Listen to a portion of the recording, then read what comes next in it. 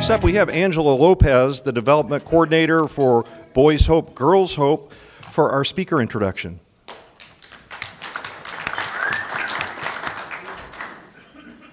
Thank you, everybody. I won't talk for long. Everybody uh, knows a lot about Kyrsten Sinema because we have been hearing things in the news or we have been listening to your speeches. And, uh, and there's also, we were sent um, an introduction for her as well. I assume everybody's seen that. However, I did pull something off her website that I thought was really interesting. Um, so this is actually a quote from the co-chair of the Republicans for Sinema. And so they, this person, Max uh, Foes, I think his name, or Fose maybe, um, Kyrsten is unlike anyone in elected office I know.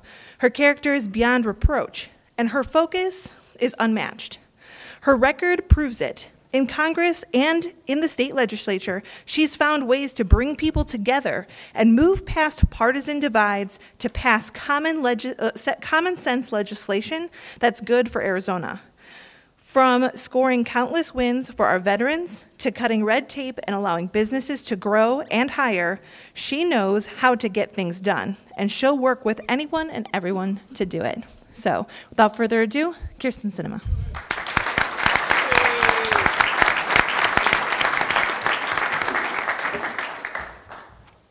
Angela, thank you so much for that introduction. I really appreciate it. Um, although when you started speaking, you said, we know a lot about Kyrsten Sinema, we've seen it on TV. I wanted to say, yeah, half of that stuff's not true. yeah. But you know, politics. Um, so thank you so much for that kind introduction. And thank you to Phoenix Rotary 100 for having me here this afternoon. It is such a pleasure to be here with community leaders who are committed to service and expanding opportunity right here in our valley. What I'd like to do first, if it's okay with you, is just tell you a little bit about my story and why I'm running for the United States Senate. As some of you know, I'm a little bit different than most people in politics. I was born in Tucson, Arizona, and my family went through some tough times when I was a kid. For a while, we were homeless. But thanks to family, church, and a lot of hard work, we got by. And my childhood taught me the power of working hard and the importance of helping others. I was lucky because I got my shot at the American dream. And now I'm running for the Senate to make sure that every Arizonan gets his or her shot too. My experience taught me a lesson that Rotarians know well. The best way to get things done for our communities is to bring people together and find areas where we can agree. I've spent my entire career, from my early days as a social worker in the Sunnyslope community to the state legislature, and now to the United States Congress, putting this lesson into practice and getting things done for Arizona. It isn't always easy, and you guys know this. Actually, everyone in Arizona knows this. Washington is a mess. But despite the dysfunction, I'm proud to say we've been able to get a lot done. Earlier this year, I worked with Senator John McCain to successfully protect $3.5 billion of funding for Arizona's public schools. That was really personal for me because public education was my ticket out of poverty and back to the middle class. So I consider it my job to make sure that all Arizonans can get access to a high quality public education. And the vast majority of the funding that Senator McCain and I protected will go straight into making sure that more teachers are in our classrooms and that they're earning higher salaries. We made this progress for Arizona students because he and I were always able to put politics aside and just get results for Arizona. And like most Arizonans, I don't care much for party labels. And I certainly don't let those party labels get in the way of doing what's right for our state. Here in Arizona, small businesses are the backbone of our economy. They make up over 97% of our economic engine. And that's one of the reasons I stood up to the party leaders in my party this year to help pass a major bill that increases access to capital for small businesses. And just last month, I was one of only three Democrats in the United States Congress that crossed the aisle to pass tax breaks um, for small businesses and for middle class families, and to protect those businesses and families from a steep tax hike that could come. So these are changes that help Arizona businesses grow and create jobs. They're real results that Arizonans need. And it's just some of the work that I've done in Congress, but I think there's a lot more work that we must do if we want all Arizonans to get their shot at the American dream. There's so much at stake at this election. Uh, as I travel across the state, there's one thing that I hear about everywhere I go from business leaders to veterans to seniors to young families, and it's healthcare. And that's why I'm fighting so hard to make healthcare more affordable and better quality for Arizona families and to protect people who are living with pre existing conditions. You know, a couple months ago, I, I met a woman um, named Leslie from Scottsdale. She was diagnosed with juvenile diabetes when she was in high school. And she's taken five insulin shots a day, every day since high school. And she, of course, worries that her coverage could get out of control expensive if protections for people with pre existing conditions goes away. And this is an area where there's a difference between me and my opponent. I understand she wasn't able to make it to meet with all of you last week. Um, so I'll, I'll just tell you what she thinks. I can do it for her. um, but just a few weeks ago, this is an area of difference between Martha and I, because Martha um, thinks it's okay to take away those protections for people with pre existing conditions. And just last month, when we were in Congress, um, she said again that she would work to um, repeal that portion of existing law, and um, and then folks wouldn't have those protections. So we've seen lately that you know our campaigns are spending a lot of time talking about the issue of pre-existing conditions and healthcare, and she's tried to kind of change her position on this. But my opinion is that your record is your record, and the votes you've taken are the votes you've taken. And I think these protections are just too important for Arizonans like Leslie, and for our kids and for our parents and frankly for everyone in between. So I believe it's our duty to stand up for them. It's also why I'm working to make sure that older Arizonans aren't forced to pay up to five times as much for their health care because of AARP's age tax. So AARP said, look, if this part of the law gets repealed, people ages 50 to 64 will have to pay five times as much for their health care, and that's just not fair. So I'm working to make sure I'm protecting that. Um, provision in law, and finally, working hard to protect Social Security and Medicare. So the issues are pretty straightforward healthcare, education, creating good paying jobs for folks in Arizona. These are the issues that I hear about most while I'm out on the campaign trail and while I'm doing my job in the United States Congress, and they're the issues that I'm fighting for. You've seen a lot in the campaign recently, a lot um, in the campaign recently. Um, and, and one of the things that I reflect on is that it feels to me like my opponent wants to make this campaign about me. But what I've done is worked really hard to make sure that this campaign's about Arizonans because I want to stay laser focused on the issues that matter most to everyday people. And as a senator, that's the work I'll do as well because I believe Arizonans deserve a senator who will stand up for them and be their voice in Washington, regardless of political party.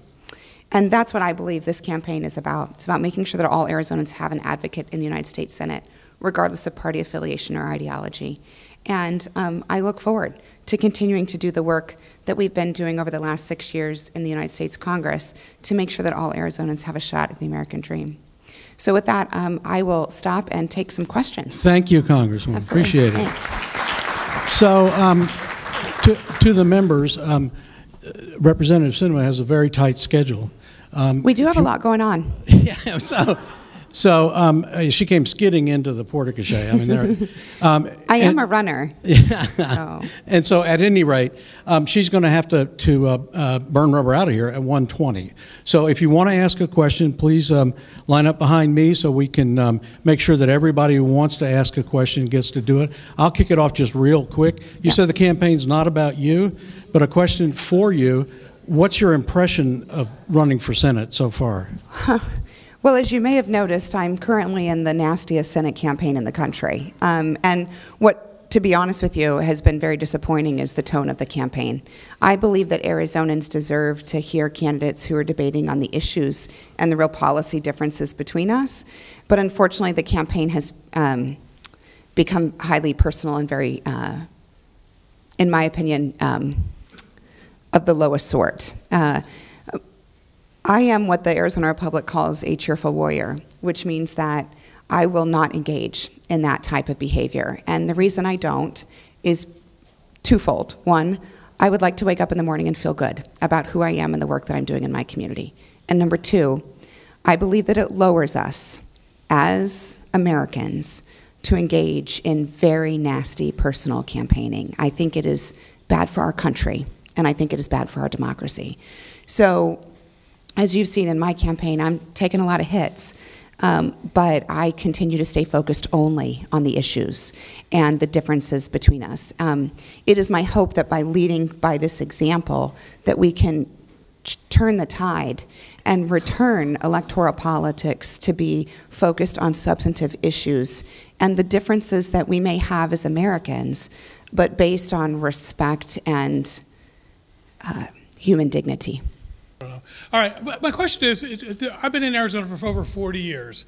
Um, Small business owner, the biggest issue, I think, is education. Yes. And I've talked to various people, and they always say, well, it's not a matter of money, although it's always money, it's intent. How do we fix, we only have this much money. That's How do we fix that? Yeah. Because, you know, as a businessman, if I have that much money, I got to solve the problem. We appreciate that question because, again, you know, as you can tell in my own life, education was the ticket for me out of poverty and to, to the American dream.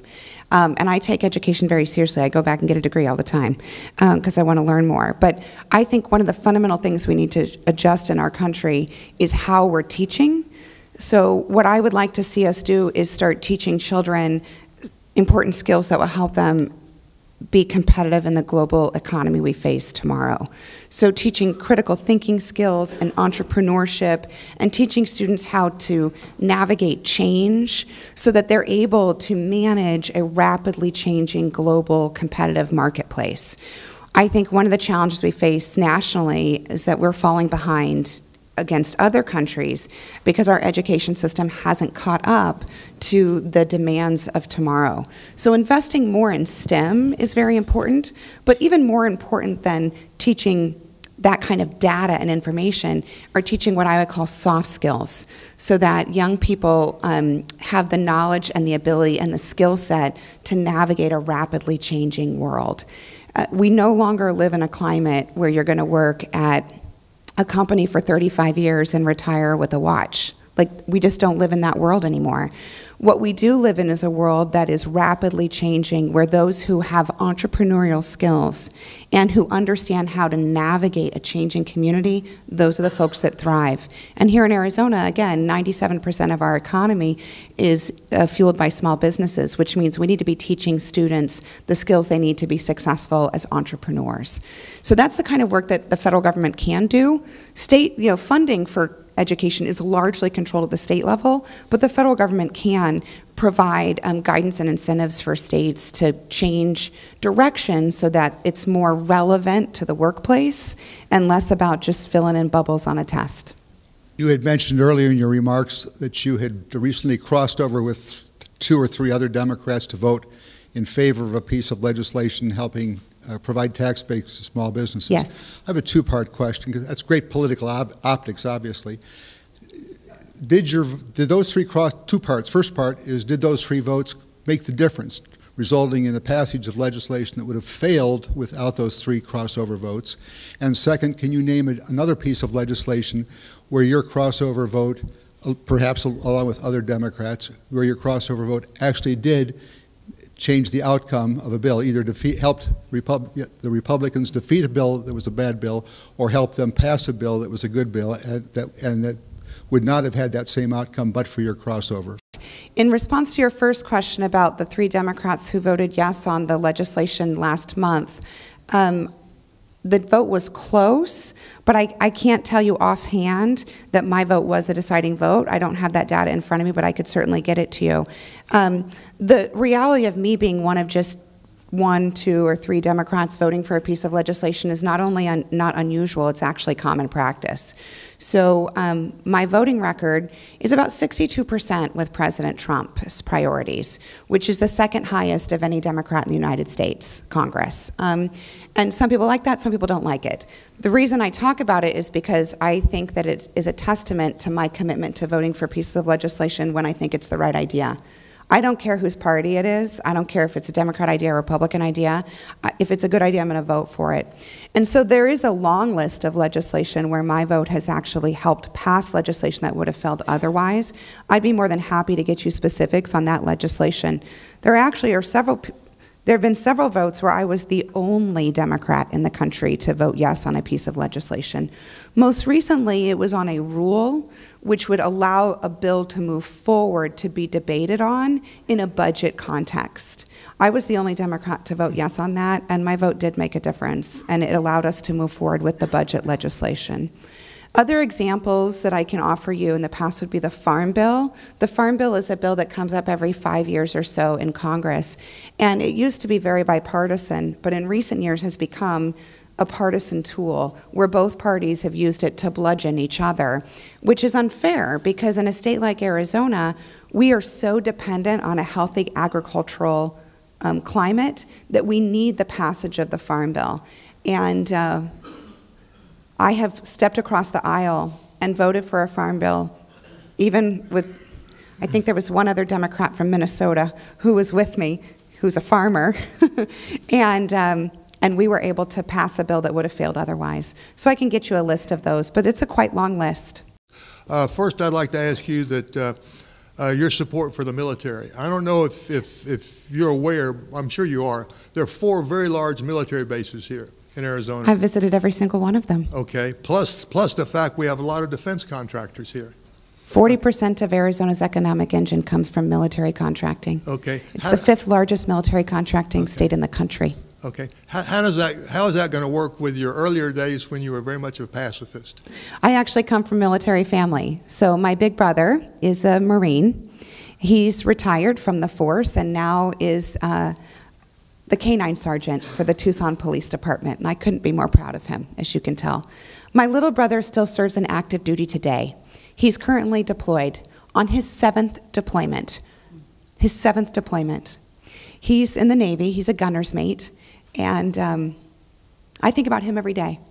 He's now deployed seven times in this war, and I worry about him. So the question um, about my support for the military has become an issue in this campaign, but frankly, it is not true. I have long supported our military, coming from a military family myself. My stepdad served in Vietnam, and my grandpa earned a Purple Heart in World War II. And this matters very much to me. So, my record on both standing with our military and standing for our veterans is unimpeachable. Now, some folks who would prefer that I not win this election have chosen to distort my history. Um, and they can choose to do so because we have a First Amendment in this country. But my record is very clear. And I would encourage anyone who's interested to actually take a look at my voting record as well as the legislation that I have sponsored and passed to help support our military and veterans in this state. Thanks. There's talk that if the uh, Democrats are able to take over uh, your current um, House, that there will be an impeachment effort uh, against the president. Um, since you say you're the second highest percentage of, of uh, voting with the president, I assume that you'd be against that. Absolutely, it's a horrible what, idea. What would you do to convince your party Yeah. not, not to go ahead with that? I think that moving forward on impeachment is a horrible idea. What I think would be much smarter is to actually work to solve the problems that our country's facing. Because when I travel the state and listen to Arizonans, no one says to me, "Oh, I wish you would do this or wish you would do that." You know, what they say to me, "I'm worried about health care. I'm worried about education. I'm worried about having a good job so I can take care of my kids." And as you've noticed in my campaign, that's what I'm focusing on because that's what folks tell me they care about. And I have said from the very, very beginning, when people started talking about these ideas of wanting to impeach the president, that I think that's a horrible idea. Not only do they not have the evidence to do it, but it's just a bad idea. It's not productive and it doesn't move our country forward. In terms of convincing others, um, as I mentioned earlier, I've tried to live my um, political career in particular by being an example to others. So while there are those who engage in nasty name calling towards each other of different political parties, and while there are those who um, focus on attacking each other, and while there are those who engage in what I would consider to be extreme activity on both edges of the political spectrum, I try hard to be an example. An example of someone who is thoughtful, who is moderate, and who makes decisions right down the middle of the line, because that's where most Arizonans and most Americans live, is right down the middle of the line. So I would continue to do what I've done over the last six years, which is seek to communicate with people on both sides of the aisle to let them know what I believe the values of my community are and to be an example of engaging in that kind of higher level um, activity. You know, just a quick note on this that we have seen that politics has gotten more vitriolic than at any time in our lifetime. And unfortunately, dangerous things are happening in our community. Um, and often when that happens, people will say, well, we should all tone down our rhetoric and we should stop saying irresponsible, horrible things to each other.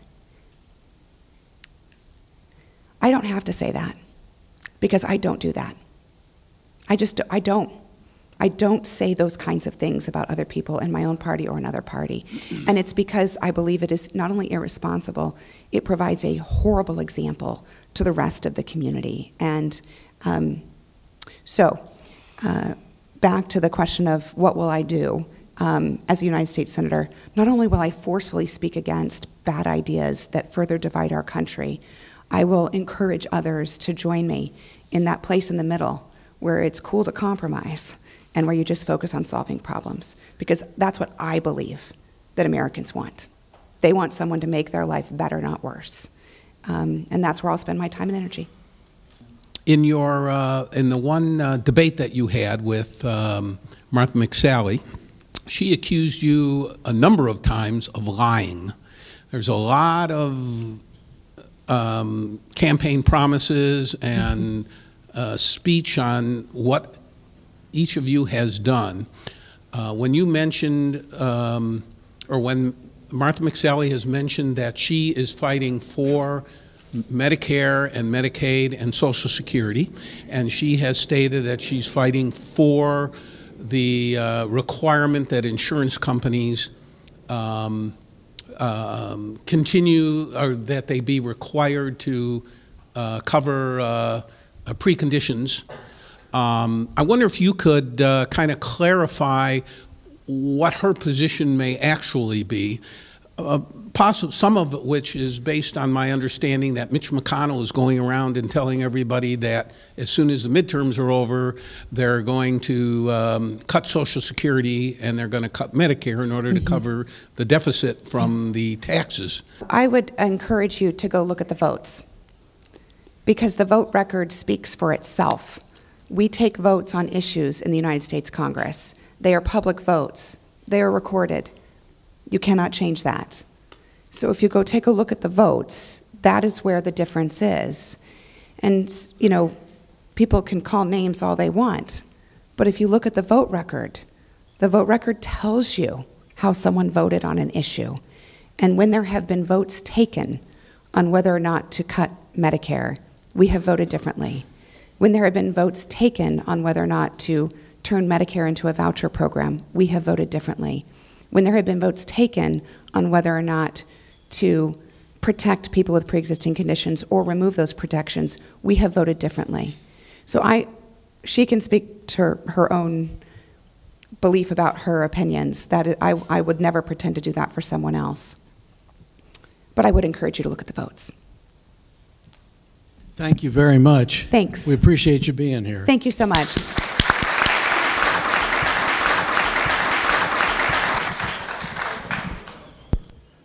Well, thank you for being here today. It's my and, pleasure. And for answering everyone's questions. That's very much appreciated. And in recognition and in appreciation of your participation today, we have a certificate. And along with this certificate, we've made a donation in your name to the Salvation Army's Adult Rehabilitation Center, which operates a six month, totally free drug and alcohol uh, addiction program. I have visited it. oh, great. Yeah, that is wonderful. Thank you so much. Thank you so much. It was great meeting you. You too. All right. I appreciate it. Thank you. Thank you. Oh.